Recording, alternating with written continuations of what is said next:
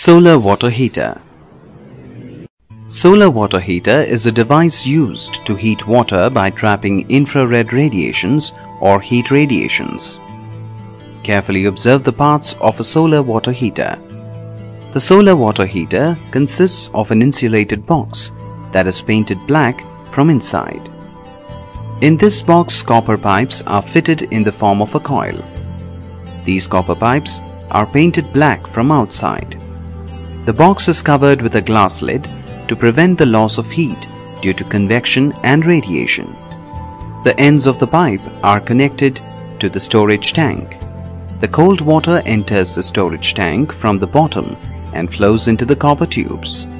The infrared radiations from the sun get trapped inside the box. As a result, water inside the copper pipes gets heated up, becomes lighter. The heavier cold water from the storage tank, which is at a relatively lower temperature, flows down into the copper pipes and the hot water that is lighter flows into the storage tank. The circulation of water continues and this process by which water gets heated is known as thermosiphon effect. Thus we get hot water by trapping solar energy which is renewable, non-polluting and abundantly available.